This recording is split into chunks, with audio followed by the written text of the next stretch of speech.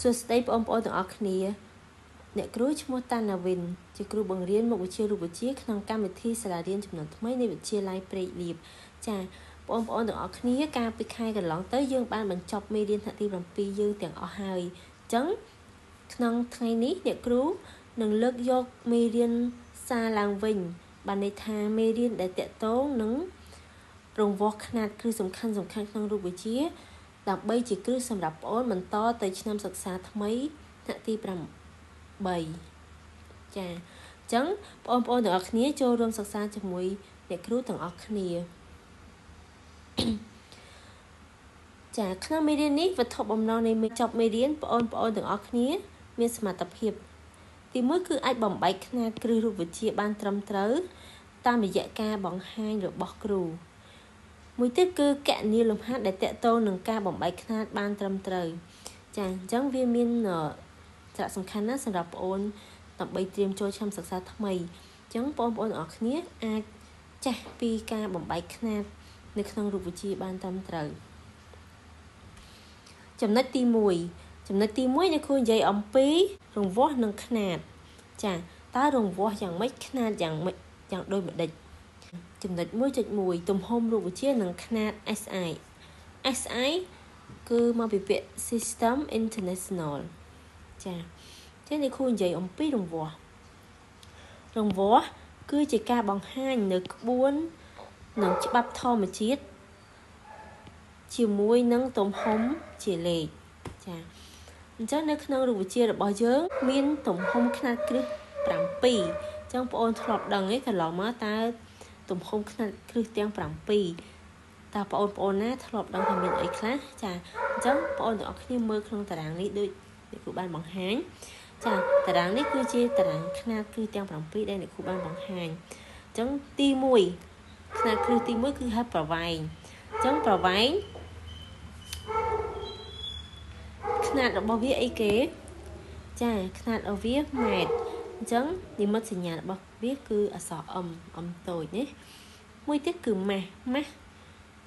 ខ្នាតគ្រឹះរបស់វាគឺគីឡូក្រាមហើយវាមាននិមិត្តសញ្ញាគីឡូក្រាមនេះ kg ចារយៈពេលខ្នាតគ្រឹះវាគឺវិនាទីអក្សរកាត់ឬក៏និមិត្តសញ្ញាអក្សរ S តូចចរន្តអគ្គិសនីចាខ្នាតគ្រឹះគឺអំពែ អក្សរនិមិត្តសញ្ញាខ្នាតគឺ A សីតុណ្ហភាពខ្នាតគ្រឹះវាគឺ Kelvin និមិត្តសញ្ញាវា K អន្តងស៊ីតេពន្លឺខ្នាតគ្រឹះវាគឺកង់ដុល្លារនិមិត្តសញ្ញាគឺ CD បរិមាណរូបធាតុខ្នាតគ្រឹះវាម៉ូលហើយនិមិត្តសញ្ញាវា គឺអានថា mol MOL ចាអញ្ចឹងបងប្អូនអរគ្នានឹងបាន ស្គាល់ហើយថាតើຂະຫນាតដែលធំធំក្នុងរូបវិទ្យាចម្បងនោះគឺមានប្រមាណចម្លើយគឺ7ចាដែលបានបង្ហាញនៅក្នុងតារាងដែលអ្នកគ្រូឲ្យនឹងចាអញ្ចឹងបន្តទៀតចូលដល់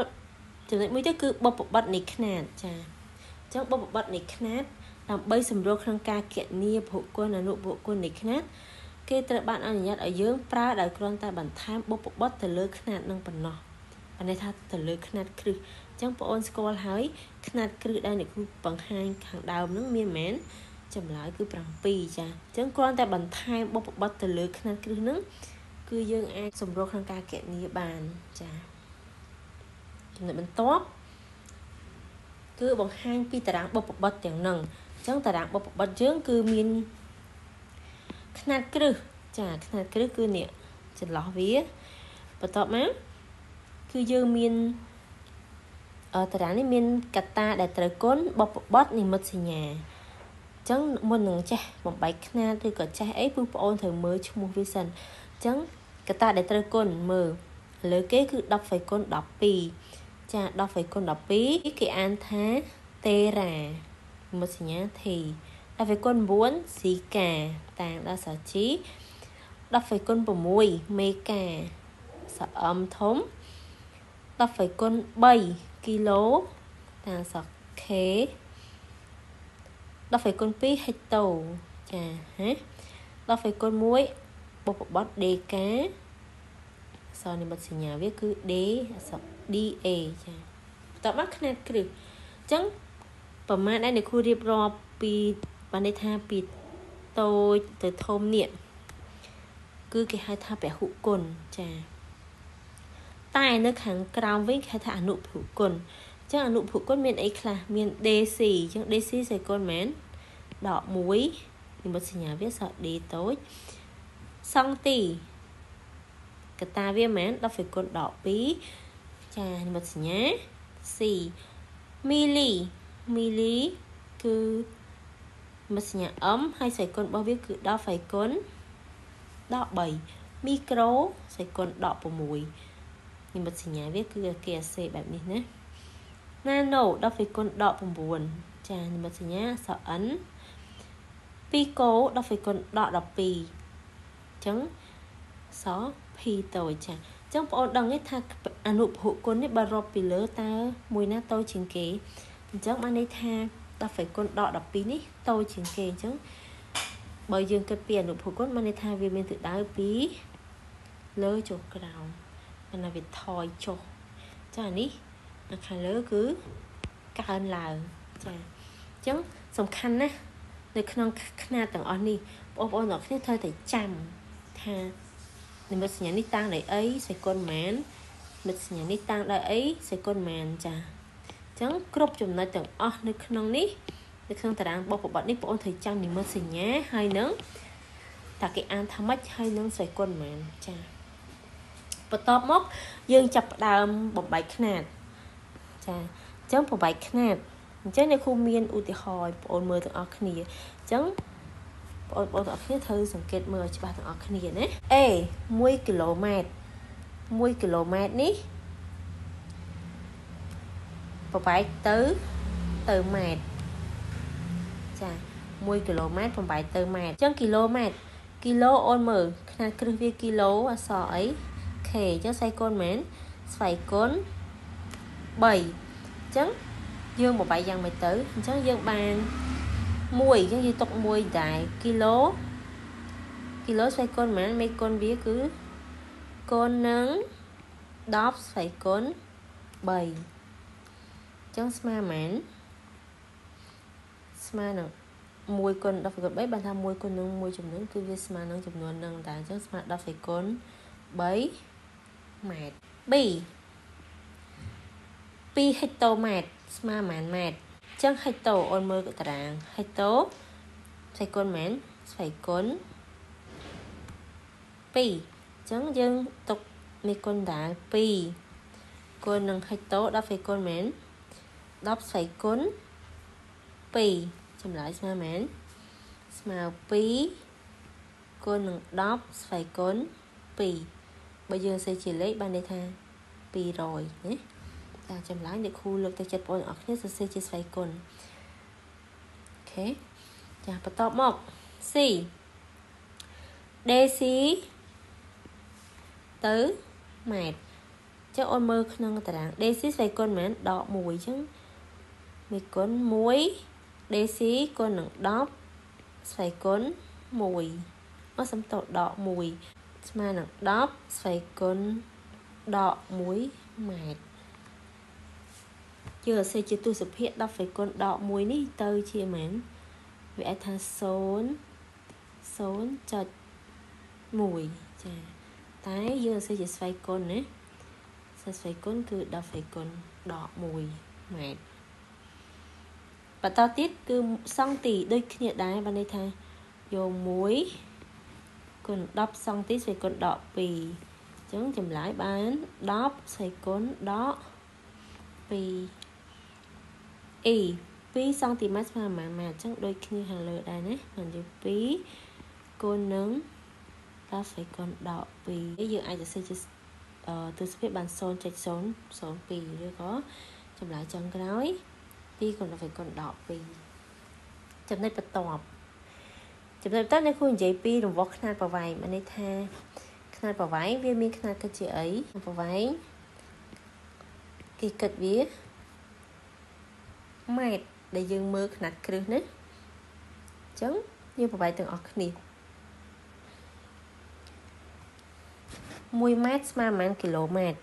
ចាអញ្ចឹងបងអូនទាំងអស់គ្នាត្រូវចាំថាប្រវែងពីខ្នាតម៉ែត្រទៅគីឡូម៉ែត្រអញ្ចឹងយើងមើល1 តើ2ម៉ែត្រទៅគីឡូម៉ែត្រហ្នឹងពីតូចទៅធំក៏ពីធំទៅតូចអញ្ចឹងនៅតាមតារាងបុព្វបត្តិខាងមុខហ្នឹងគឺពីតូចទៅធំណាបើពីតូចទៅធំអញ្ចឹងយើង1កដែលអញ្ចឹងគីឡូ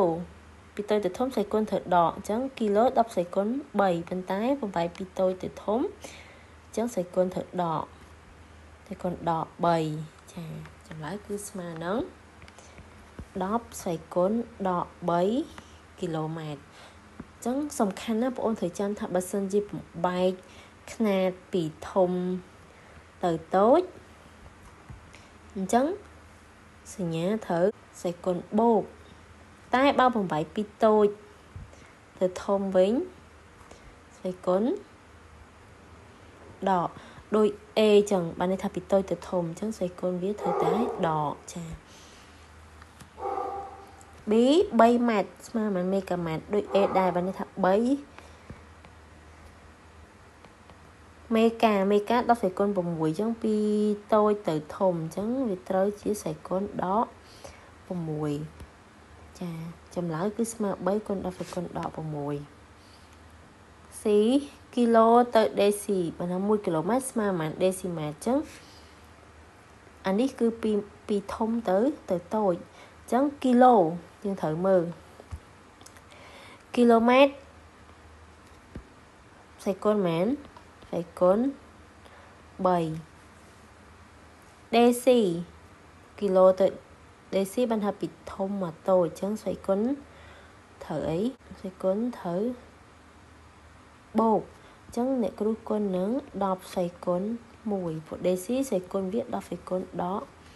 គុណត្រូវអីស្វ័យគុណត្រូវបូកអញ្ចឹងអ្នកគ្រូគុណនឹង10ស្វ័យគុណ1ព្រោះ DC ស្វ័យគុណវា10ស្វ័យគុណដក1ប៉ុន្តែបំបី2គីឡូទៅ DC យើងត្រូវគិតស្វ័យគុណវិជ្ជមានណាអញ្ចឹងវាបានមែនវាបាន10ស្វ័យគុណ4បានន័យថា10ស្វ័យគុណ3គុណ10ស្វ័យគុណ1យោយោស្វ័យគុណបូកបញ្ចូលគ្នាណាអញ្ចឹង3បូកនឹង1ស្មើ4អញ្ចឹងបាន10ស្វ័យគុណ4ដេស៊ីម៉ែត្របន្ទាប់ទៀត យើងមើល1មីលីម៉ែត្រសំទោស1ម៉ែត្រស្មើប៉ុន្មានសង់ទីម៉ែត្រអញ្ចឹងពីធំមកតូចអញ្ចឹង1គុណនឹង10ស្វ័យគុណ4សង់ទីសេគុណ10សេគុណដក2អញ្ចឹងពីធំមកតូចយើងត្រូវសេគុណបូកវិញអញ្ចឹងសេគុណ2ឬក៏បូក2ចម្លើយវាគឺស្មើនឹង10សេគុណ2សង់ទីម៉ែត្រឬ100សង់ទីម៉ែត្រចា E 4សង់ទីម៉ែត្រស្មើប្រហែលដេស៊ីម៉ែត្រអញ្ចឹងពីតូចទៅធំឬពីធំទៅតូចចម្លើយគឺពីតូចទៅធំតែមុននឹងគិតថាពីតូចធំយើងមើលຂະຫນາດមុខសិនអញ្ចឹង4ទុកនៅតែសង់ទីសេកុនមែនសេកុនដក2 DC ពីសង់ទីទៅ DC មកខាងនេះវិញអញ្ចឹង DC ដក1អញ្ចឹងពីតូចទៅធំសេកុន1អញ្ ចឹងយើងសម្រួលសេកុនវាមកស្មើមែនស្មើនឹង4គុណនឹង10ផ្សាយគុណដក1ឬក៏0យើងអាចសរសេរជាទស្សភាគអាច0.4ណាតែយើងសរសេរជាសៃគុណហ្នឹងក៏បានដែរអូខេចាអញ្ចឹងថ្ងៃនេះយើងបន្តទៀតនៅ រង្វោះមួយទៀតគឺម៉ាស់អញ្ចឹងម៉ាស់មានຂະຫນាត់គ្រឹះក៏ជាអីនៅក្នុងតារាងចាຂະຫນາດរបស់វាគឺគីឡូក្រាមអញ្ចឹងអូនបំបែកຂະຫນាតវាដូចຂະຫນាត់ប្រវែងដែរអញ្ចឹង2គីឡូក្រាមទៅក្រាមអញ្ចឹងមួយណាតូចមួយណាធំអញ្ចឹងគីឡូក្រាមត្រូវធំជាងក្រាមអញ្ចឹងពីតូចទៅពីធំទៅតូចអញ្ចឹងយើងត្រូវយកវាស្វ័យគុណបូកនេះចឹងបាន1 គុណ10ស្វ័យគុណ3ចម្លើយវាស្មើនឹង10ស្វ័យគុណ3ឬក៏1000ក្រាមបន្តទៀតគឺ0.3គីឡូស្មើប៉ុន្មានក្រាម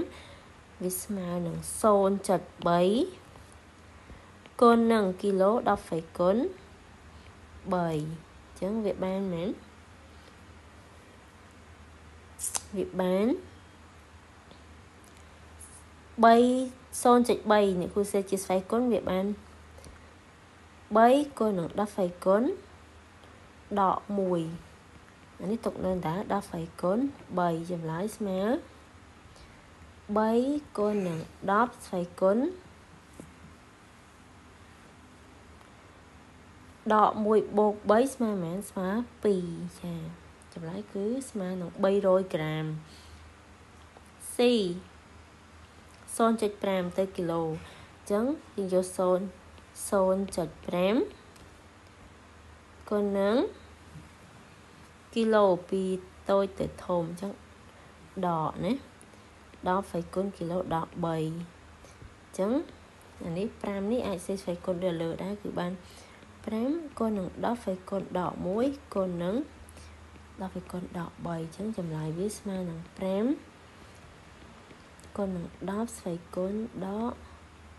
4ដក3ដក1ដល់ដកបូកអញ្ចឹងទុកសញ្ញាដដែលបាន4អញ្ចឹងសញ្ញាដកដក4 D ដូចគ្នាដែរចាអញ្ចឹងបាន0.3គុណនឹងគីឡូវា10ស្វ័យគុណ3គុណហើយគីឡូទៅមីលីមែនពីធំមកតូចអញ្ចឹងមីលី 10សេគុណដក3អញ្ចឹងយើងស្វែងពីធំមកតូចសេគុណ3អញ្ចឹងចម្លើយវាបាន0.3គុណនឹង10សេគុណ3បូក3គឺ6ចាឬក៏ស្មើនឹងធ្វើដូចខាងលើយើងអាចសេជាស្វ័យគុណក៏បានឬក៏ទុកចឹងក៏បាន បានន័យថាស្មើនឹង3គុណនឹង10ស្វ័យគុណ5ចាអ៊ី 4មីលីគឺ10សេគុណដក3មីលីទៅគីឡូពីតូចទៅធំអញ្ចឹងពីតូចទៅធំត្រូវគុណនឹង10សេគុណបូកដកវិញណាពេលថាពីតូចទៅធំគឺដកដក3ចម្លើយបាន4គុណនឹង10សេគុណដក ដក6ចាចម្លើយគឺបានប៉ុណ្ណឹងណាចំណុចបន្ទាប់គឺរយៈពេលរង្វាស់រយៈពេលម្ដងអញ្ចឹងរយៈពេលដែលយើងដឹងហើយភាគច្រើនគឺ1ម៉ោង1ម៉ោងស្មើប៉ុន្មាននាទីចាហាស់នេះគឺຂະຫນາດគេគិតនិមិត្តសញ្ញាម៉ោងណាបាន1ម៉ោង វាស្មើនឹង60នានាទីបានន័យថានេះគឺម៉ោងຂະຫນາດនេះគឺនិយាយពីនានាទីចាអញ្ចឹងមួយមួយនាទីវិញវាស្មើប្រហែលវិនាទីនេះវិនាទីណាអញ្ចឹង1ម៉ោងស្មើ60នាទី តែ1នាទីវាស្មើនឹង60វិនាទីចុះ បើគេចង់បាន1ម៉ោងគេគិតជាវិនាទីស្មើមែនបានថាស្មើនឹង60គុណនឹង60ចម្លែកបាន3600វិនាវិនាទីចាចឹងបងអូនធ្វើបំបែកຂະຫນាតជាស្រ័យណាមិនຂະຫນាតមកទេគឺຂະຫນាតរយៈពេលណារយៈពេលចឹង2ម៉ោងស្មើប៉ុន្មាននាទី ចឹងយើងមើលមក1ម៉ោង60នាទីចុះ2ម៉ោងចឹងយើងយក2គុណនឹង60សង្ឃឹមថាបងប្អូនទាំងអស់គ្នាអាចធ្វើបានណានោះគឺស្រួលជាងគេណាចឹងបានមែន120នាទី0.5ម៉ោងស្មើប៉ុន្មាននាទីចឹងដូចគ្នាដែរបានយក0.5ក៏នឹងមែន1ម៉ោង60នាទីចឹងក៏នឹង60ចម្លើយបាន 30នាទី25នាទីស្មើប៉ុន្មានម៉ោងចាឥឡូវប្រហែល2នាទីទៅម៉ោងវិញតើបងប្អូនគ្នាធ្វើមិនទៅមិញធ្លាប់តែប្រហែល2ម៉ោងទៅនាទីទៅអីវិនាទីចឹងឥឡូវប្រហែល2នាទីទៅម៉ោងវិញតើបងប្អូនទៅធ្វើមិនចាគិតមើល25នាទីតើវាស្មើនឹងប៉ុន្មានម៉ោង ចឹងវាអាចថាអូនអាចធ្វើតាមគណិតវិទ្យាច្បាប់សមាធិយើងគឺ25នាទីស្មើប៉ុន្មានម៉ោងបើយើងដឹងថា1ម៉ោងស្មើនឹងប៉ុន្មាន60នានាទីអញ្ចឹងយើងគុណចម្រាស់មក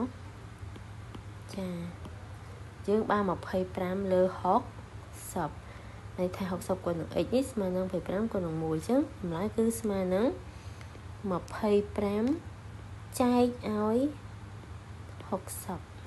0.41ម៉ោងវាអត់ដល់ម៉ោងហើយវាបានកន្លះម៉ោងឯណាចាចុះ180នាទីស្មើប៉ុន្មានម៉ោង ចឹងយើងធ្វើតាមសមាធិដូចគ្នាដែរ180ស្មើប៉ុន្មានម៉ោងចឹង60ស្មើ1ម៉ោងចឹងយើងចូល180ចែកឲ្យ60គឺស្មើនឹង3ម៉ោងចាចុះ60នាទីទៅវិនាទីចឹងយើងដឹងថា1នាទី60ចុះ10នាទីមិនចូល10ក៏នឹង 60ចម្លើយវាបាន600វិនាទីចាបន្តទៀតគឺនិយាយអំពីຂະຫນາດផ្សេងផ្សេងក្រៅពីຂະຫນាត់គ្រឹះចាចឹងក្នុងរូបវិទ្យាយើងមានຂະຫນາດច្រើនអញ្ចឹងថ្ងៃនេះអ្នកគ្រូលើកយកតែຂະຫນາດប៉ុន្មានដែលយើងធ្លាប់ជួបច្រើនទេគឺមានច្រើនណាអញ្ចឹងមានកម្លាំងកំមន់លបឿនសំទុះចរន្តតង់ឆុងធម្មពល ចឹងនិមិត្តសញ្ញាវាមានដូចគ្នាណា F W V V តូច A I V E ចឹងតើគេអានថាម៉េចបើសិនជាកម្លាំងຂະຫນាតរបស់វាអីគេនិមិត្តសញ្ញាវា F តែຂະຫນាតវាគឺយូតនកាម៉ុនខ្នាតវាគិតជាស្រួលល្បឿនម៉ែត្រក្នុងវិនាទីសំទុះម៉ែត្រក្នុងវិនាទីការ៉េនិមិត្តសញ្ញាវាទាំងអស់នេះ នេះនេះអានថាអំពែនេះអានថាវល់នេះអានថាស្រួលចាចឹងបងអូនធ្លាប់ជួបកន្លងមកហើយចឹងនេះគ្រូអត់បញ្យល់ច្រើនទេចឹងជាទៅដល់ចំណុចផ្សេងទៀតចាក្រៅពីຂະຫນាតទាំងអស់នេះវាមានຂະຫນាតច្រើនទៀតអញ្ចឹងຂະຫນាត់ផ្សេងផ្សេងហ្នឹងវាមានមៀតវាមានផ្ទៃច្រើនទៀតអញ្ចឹងអ្នកគ្រូលើកយកຂະຫນាត់ដែលយើងធ្លាប់ជួបនៅក្នុងការកណនីអញ្ចឹងនឹងវាស់ចំណុះគឺគេអាចថាមៀតចំពោះទឹកសុទ្ធគេគិតជាទូទៅគឺ1គីឡូក្រាម ស្មើនឹង1លីត្រចានេះគឺຂະຫນាត់លីត្រណាអលអញ្ចឹង1លីត្រគេគិតមកគឺស្មើនឹង1ដេស៊ីម៉ែត្រគីបស្មើនឹង0.0 1ម៉ែត្រគីបឬក៏10ស្វ័យគុណដក3ចាមានន័យថាស្វ័យគុណវា3ខ្ទង់ខាងក្រោយអញ្ចឹងស្វ័យគុណដក3ជាយើងប្របែកខ្នាតទាំងអស់គ្នា20លីត្រស្មើប៉ុន្មានមីលីលីត្រ20 គុណនឹង10ស្វ័យគុណមីលីស្វ័យគុណដក3ប៉ុន្តែពីធំទៅតូចគឺបូកណា20គុណ10ស្វ័យគុណ3អញ្ចឹងចម្លើយវាស្មើមែនបើយើងសរសេរជាលេខវាបាន20.04នេះចា340មីលីលីត្រអញ្ចឹងបានពីតូចទៅធំអញ្ចឹងស្វ័យគុណដកអញ្ចឹង340គុណនឹង10ស្វ័យគុណដក3ស្មើ0.5 34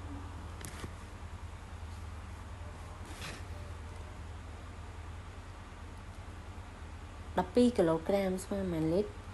អញ្ចឹងអានេះគឺករណីទឹកណាករណីនេះករណីទឹក តែចំពោះប្រេងចំពោះអីផ្សេងគឺมันអាចស្មើ1លីត្រ1គីឡូស្មើ1លីត្រទេតែករណីទឹកគេយកវាស្មើនឹង1លីត្រចឹង12គីឡូស្មើ1លីត្រគឺចំពោះទឹកគឺ12 12លីត្រ D 34លីត្រស្មើប៉ុន្មានដេស៊ីម៉ែត្រគីបអញ្ចឹង1លីត្រស្មើ1ដេស៊ីម៉ែត្រគីបអញ្ចឹងបានន័យថាស្មើ34 ដេស៊ីម៉ែត្រគីប60លីត្រស្មើប៉ុន្មានម៉ែត្រគីបចាឥឡូវមើល1លីត្រស្មើនឹង10គុណដក3ម៉ែត្រគីបចុះឲ្យ60អញ្ចឹងយើងយក60គុណនឹង10ស្អីគុណដក3អញ្ចឹងស្មើមែនស្មើនឹង6ឬក៏0 ចាច់0.6រង្វាស់ផ្ទៃម្ដងផ្ទៃគឺຂະຫນາດវាគិតជាការ៉េណាអញ្ចឹង1ម៉ែត្រការ៉េស្មើប៉ុន្មានដេស៊ីម៉ែត្រការ៉េដូចមៀតដែរមិញតែយើងប្របែកຂະຫນາດធម្មតាសិនអញ្ចឹងបាន1ម៉ែត្រទៅដេស៊ីម៉ែត្រគឺពីធំទៅតូចអញ្ចឹងស្វ័យគុណមែនដេស៊ីស្វ័យគុណបូកណា1អញ្ចឹងការ៉េអញ្ចឹងយើងត្រូវលើកស្វ័យគុណវាជាការ ការ៉េអញ្ចឹងស្មើមែន1គុណនឹង2បាន1គុណនឹង2បានមែនបាន2អញ្ចឹងស្មើ10ស្វ័យគុណ2ម៉ែត្រការ៉េអញ្ចឹង1ម៉ែត្រការ៉េស្មើនឹង100ដេស៊ីម៉ែត្រការ៉េ D គឺស្មើមែន340 គុណនឹងសង់ទី10វៃគុណដក2មីលីសង់ទីទៅមីលី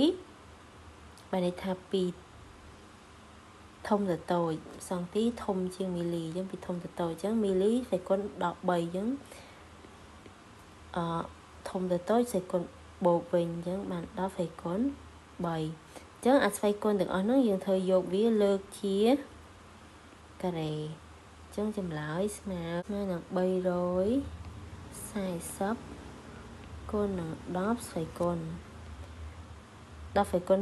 2គុណនឹង10ស្វ័យគុណ3វាបាន12បូក3អញ្ចឹងសល់សល់1 1គុណនឹង2បាន2ចាចម្លើយគឺ1 12គីឡូម៉ែត្រការ៉េស្មើប៉ុន្មានម៉ែត្រការ៉េអញ្ចឹងវាបាន12គីឡូទៅម៉ែត្រវាធំនេះធំទៅតូចអញ្ចឹងវាបានដល់ហ្វៃគុណ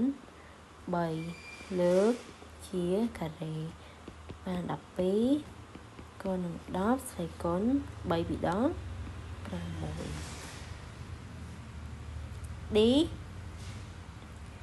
0.5មីលីម៉ែត្រទៅសង់ទីម៉ែត្រអញ្ចឹងយើងទុក0.5ដែរ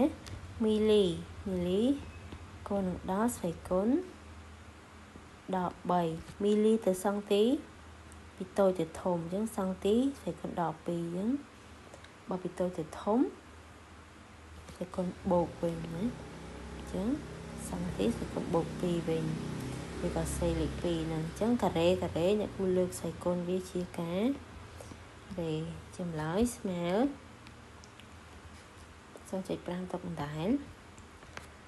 ដក3បូក2វាសល់ដក1ដក1គុណនឹង2បាទដក2អញ្ចឹងគុណនឹង10ស្រីគុណដក2ខ្នាតគឺសង់ទីម៉ែត្រក្រេចា ចឹងថ្ងៃនេះអ្នកគ្រូបង្ហាញពីຂະຫນាតគ្រឹះឬຂະຫນាតដ៏ផ្សេងផ្សេងមួយចំនួនតែប៉ុណ្ណឹងចឹងសង្ឃឹមថាបងប្អូនគ្នាទាំងអស់គ្នាអាចតាមដានតនៅខ្លឹមសារមេរៀននេះចឹងជាចុងក្រោយអ្នកគ្រូសូមអរគុណបងប្អូនទាំងអស់គ្នាសំណាងល្អជួបគ្នានៅសប្តាហ៍ក្រោយចាចឹងសូមអរគុណសូមជម្រាបលា